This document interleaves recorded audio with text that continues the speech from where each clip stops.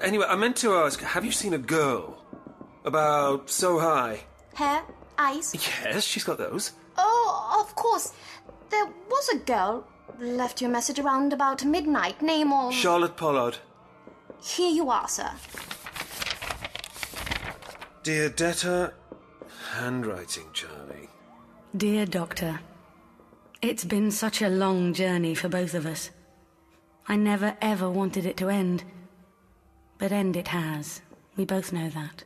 Oh, Charley, no. A long time ago now, I said you were the oddest man I'd ever met. You're that still. You're the best man I've ever met, too. But we've chanced our luck once too often, I think. So I'm bailing out. Escape strategy number five. Number six. I'm going to disappear. There's no freedom like being dead. I can go anywhere, be anyone I want. Just like a Time Lord, really. Don't look for me. Please. But remember me.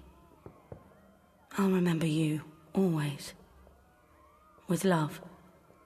The girl who never was. Sir? Are you all right? Doctor? I'm fine.